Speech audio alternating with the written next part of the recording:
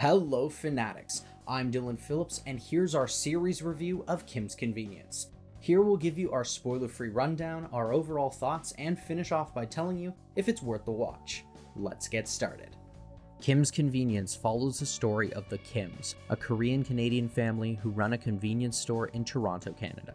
Mr. and Mrs. Kim see themselves as modern, hip, and fully integrated into Canadian life, while still holding on to their more traditional Korean ways. Those around them include the many patrons of their store and their two adult children, Janet and Jung, whom they have complicated relationships with due to the disconnect between their generations and the cultures they grew up in. The series starts off as one would expect, dealing with the exploits of the immigrant experience, as the storylines walk the line of empathy and caricature. From one stereotype joke to another, it appears like a lot of the one liners will come at the expense of outdated social norms that were conventional in TV.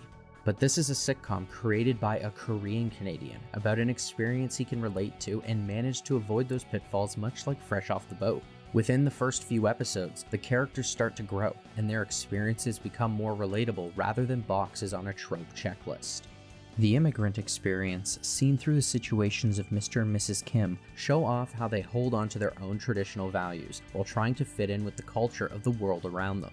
Meanwhile, their children Janet and Jung deal with what it means to be a second generation immigrant, not entirely sure of which culture they belong to, struggling to find a middle ground. As the story develops, the characters become much more realized and feel like people you could bump into on the street, which helps make the series imbue a feel good and inviting atmosphere paired with the story's ability to feel authentic both in its delivery and the characters' reactions, and this small Canadian sitcom shows off its massive heart with every episode.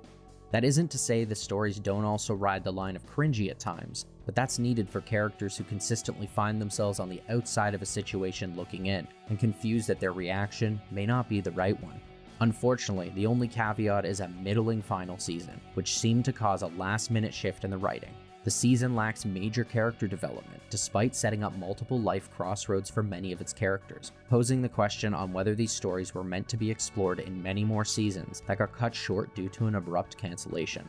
It seems like this final season was more concerned with setting up a potential spin off series for one of its characters and focusing on building their world more, rather than the family at the center who carried the brunt of this series' success. Kim's Convenience is an old school sitcom brought into the modern age with high quality content that makes you keep coming back.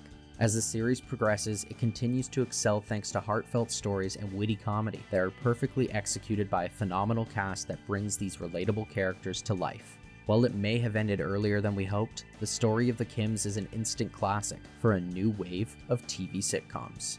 This series never had a dull moment throughout its five season run, with the only downside being an abrupt cancellation. So I'm going to say that Kim's Convenience is worth the watch.